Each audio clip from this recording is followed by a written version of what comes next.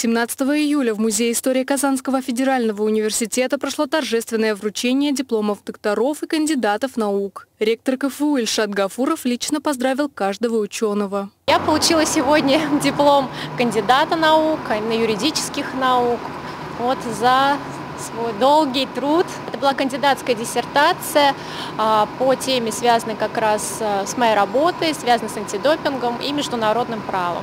Лилия Баталова, Виолетта Басова, Универньюз.